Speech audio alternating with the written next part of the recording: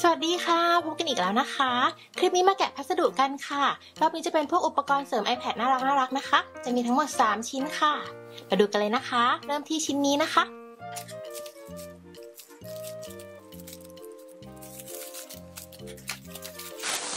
อันนี้จะเป็นเคส iPad ค่ะ จะเป็นเคสของ iPad Gen 7 Gen 8 Gen 9 ใส่ด้วยกันได้นะคะเราเลือกมาเป็นสีรุ้งค่ะ เป็นสีรุ้งพาสเทลน่ารักมากเลยนะคะ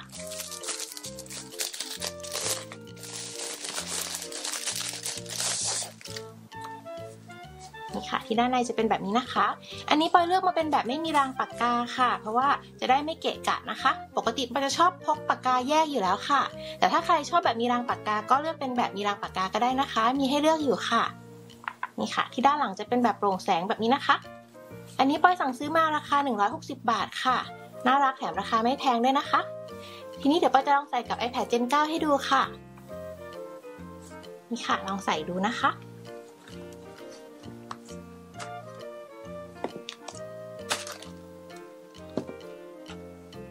ก็ใส่ได้พอดีค่ะ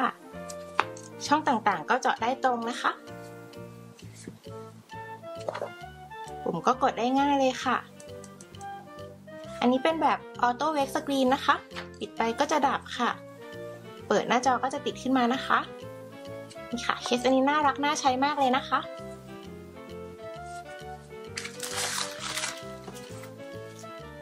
ทีนี้มาดูที่ชิ้นต่อมากันค่ะ จะเป็นอันนี้นะคะ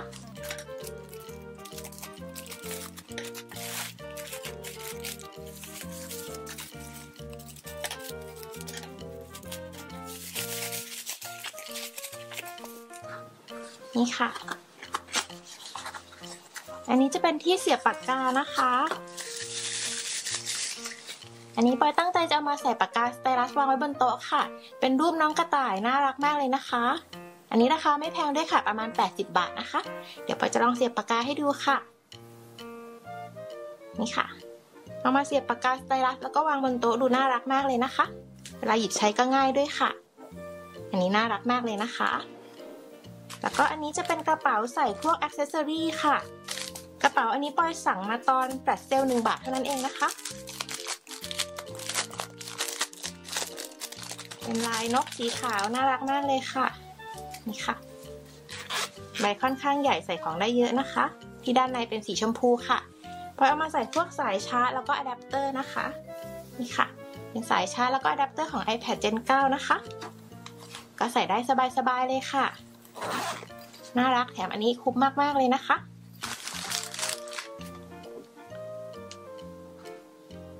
แล้วก็ชิ้นสุดท้ายจะเป็นอันนี้ค่ะ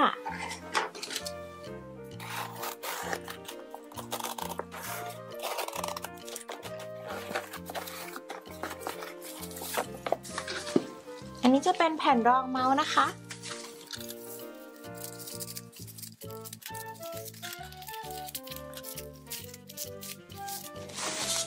นี่ค่ะ อันนี้จะเป็นแผ่นรองเมาส์ Brunch Brother ของเกาหลีนะคะ ลายน่ารักมาก ๆ เลยค่ะ นี่ค่ะ เป็นของ Brunch Brother นะคะ อันนี้ราคาประมาณ 200 บาทค่ะ อันนี้ปอยตั้งใจจะมาใช้กับเมาส์ iPad นะคะลองแกะดูค่ะ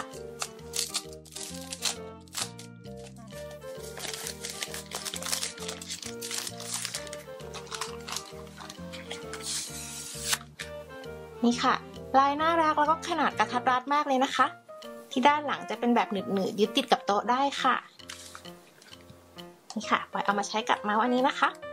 เป็นเมาส์บลูทูธใช้กับ iPad ได้ค่ะลื่นดีเลยนะคะ อันนี้น่ารักมาก ๆ เลยค่ะ ก็มีเท่านี้นะคะสำหรับของที่ปอยสั่งซื้อมาในรอบนี้ปอยก็หวังว่าทุกคนจะชอบคลิปนี้กันนะคะ ถ้าใครชอบคลิปนี้ก็รบกวนกด subscribe ช่อง YouTube ของปอยเอาไว้นะคะ แล้วจะมีคลิปใหม่ๆ มาให้ติดตามกันอีกเรื่อย ๆ เลยค่ะ เอาไว้พบกันใหม่นะคะ